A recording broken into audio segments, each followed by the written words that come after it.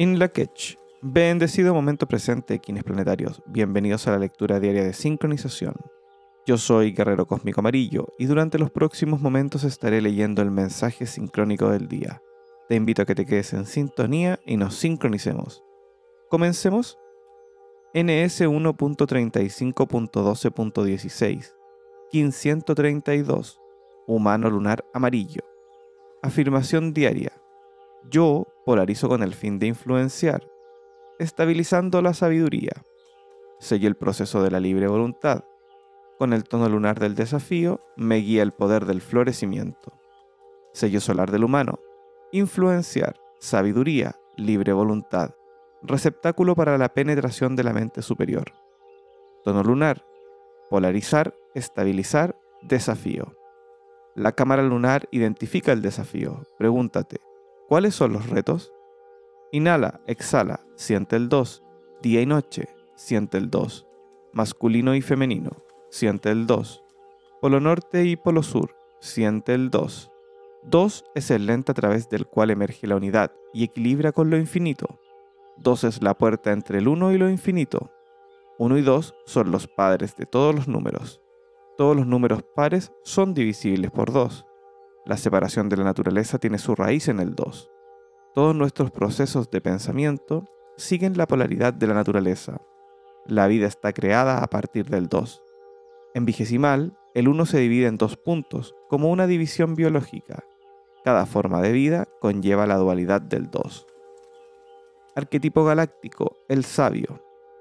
El sabio, también conocido por el nombre de gobernador y juez prudente, humano amarillo, el poder de la libre voluntad de la sabiduría. El sabio es el guardián de la sabiduría como almacén de la libre voluntad de la profecía cósmica. El sabio es el segundo en recibir el aliento espiritual como la capacidad de gobernar o ejercer el poder simplemente por la influencia de su voluntad interior. El sabio se equilibra y juzga de acuerdo con la esencia del espíritu cósmico que anima a su ser. El sabio sabe escuchar y solo habla cuando se le habla. El sabio es la terminal del circuito eléctrico rojo que transmite el poder oculto de la sabiduría eterna del iniciado serpiente y la sabiduría sincrónica del navegante.